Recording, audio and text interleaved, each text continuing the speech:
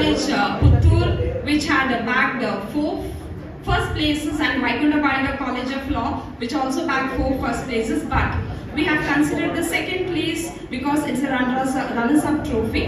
So considering that Vivekananda Law College Puttur has bagged four second places and Vaikunta Baliga College of Law have bagged two first second places. So considering both the things, the runners-up trophy goes to Vivekananda Law College.